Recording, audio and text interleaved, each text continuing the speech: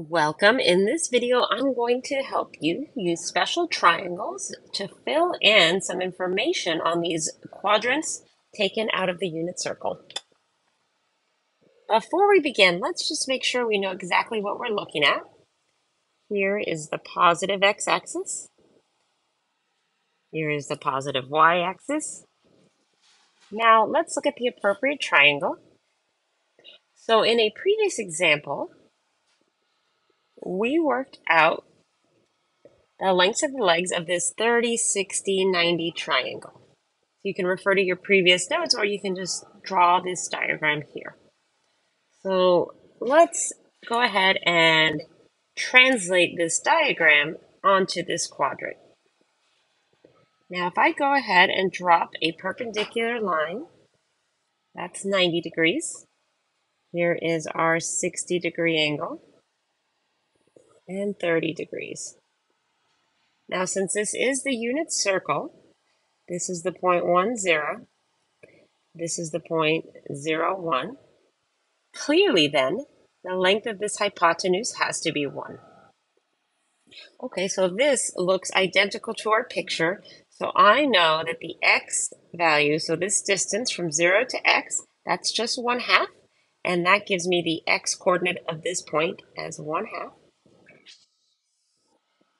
Now, this vertical distance, this is square root of 3 over 2. So that means I go from 0 to square root of 3 over 2. That gives me the y value. And there you are. Let's repeat that for this lower triangle. So I'll trace this triangle out in a different color just to make it clear. So this hypotenuse here, I'll drop a perpendicular line.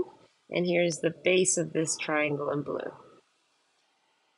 Again, this is 90 degrees. This angle here now is 30 degrees, and here's our 60 degree angle.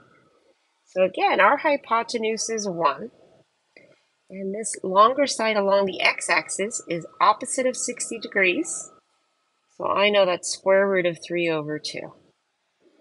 Now, what about the y value? Well, that's opposite of the 30 degree angle. So I know that y value, this length here, is 1 half.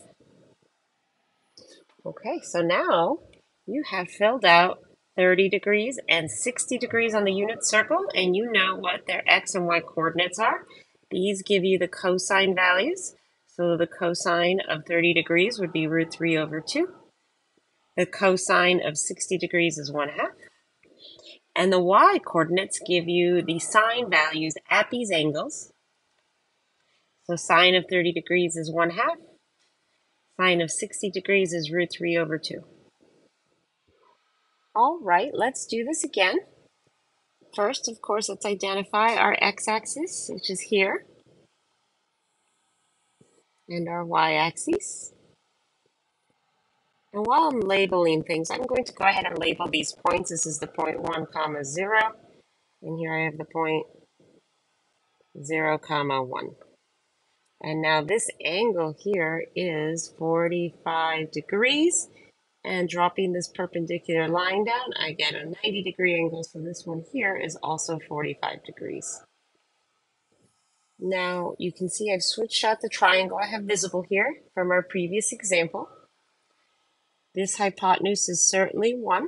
That tells me that each leg here is the square root of 2 over the square root of 2. So the x coordinate is root 2 over 2, and the y coordinate is root 2 over 2.